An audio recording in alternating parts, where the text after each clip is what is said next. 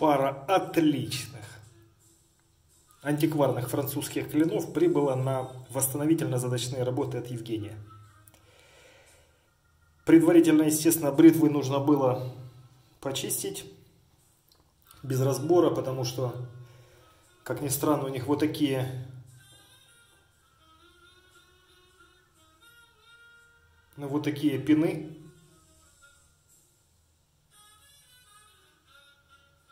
Не буду утверждать, что бритвы не разбирались.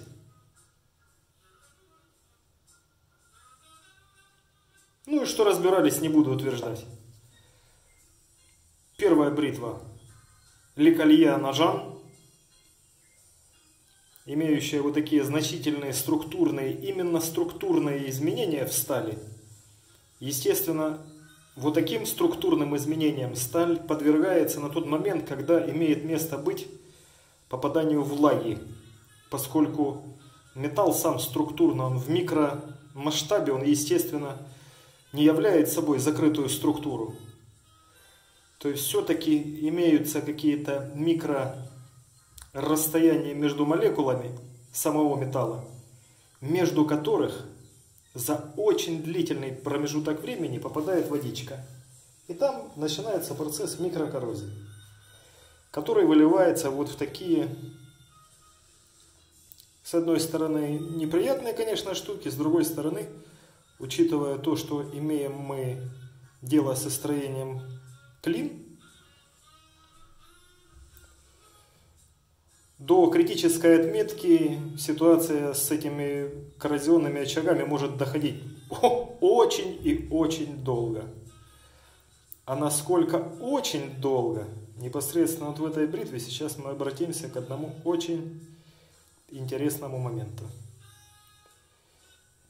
Меня он привел практически в дикий восторг. Вот этот момент. Некий Эдмон, первое слово не могу я прочитать, стал обладателем этой бритвы в 1902 году. Удостоверил человек отметкой временной.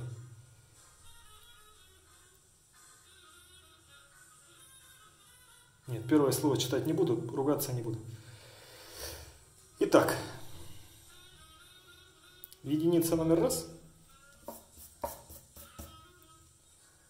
Леколье Аножан.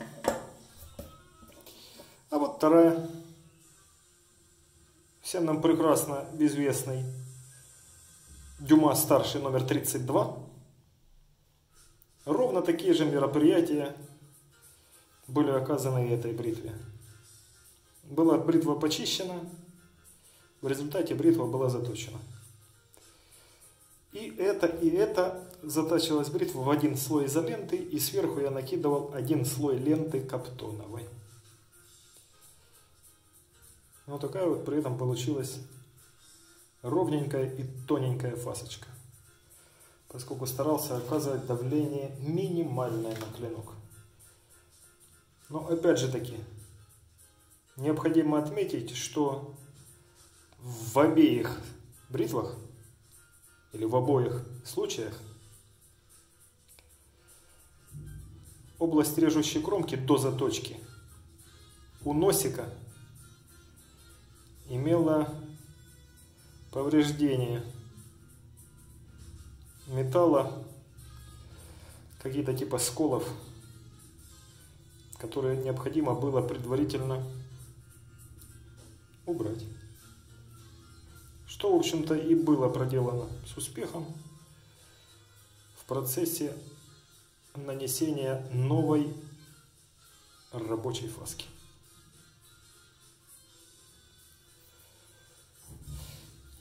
Итак, клины готовы.